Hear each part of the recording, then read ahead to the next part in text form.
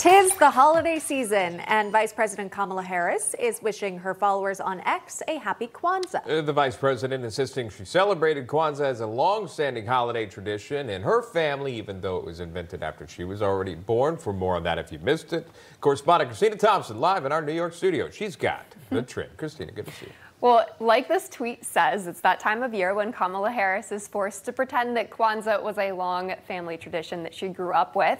Here's part of the vice president describing the holiday for her family. Growing up, Kwanzaa was always a special time. We came together with generations of friends and family and neighbors. There were never enough chairs, so my sister and I and the other children would often sit on the floor and together we lit the candles of the kinara. Except it couldn't have been generations of this because Kwanzaa was invented in 1966 and Kamala Harris was born in 1964. So when she says it was some deeply rooted event that her family, with elders and countless neighbors, came to, I don't know. I'm not so sure that it was the full truth because it didn't catch on until the 1980s. So Kamala would have been in her teens or her 20s, not some little child lighting some candles on the floor like she says.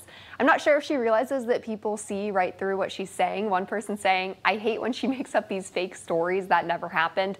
This person made a good point saying this whole idea that we have to pretend to believe in and support things that aren't even real to begin with, it really screams of people's inability to see and appreciate and celebrate what is real, what we do have, and what we've actually accomplished. And this she can just say Happy Kwanzaa to those who celebrate it without having to make up celebrating it herself. Shaun, Emma. Yeah, it just the insincerity of this administration. Believe what you hear, not what you see. I mean, it just continues uh, on here. Again, excellent point of when that came up. Again, it, it began in 1966, didn't catch on again until uh, decades later. All I saw was also on X. She eventually uh, was cooking for Christmas, and she did say "Merry Christmas" to all, and Good, she was cooking on a gas stove. So you know what? We all We're trying to get rid of those. I thought so. well, that's, that's where it goes back and forth. Uh, Christina does a great job of filling us in. Thank you very much, Christina. Thanks,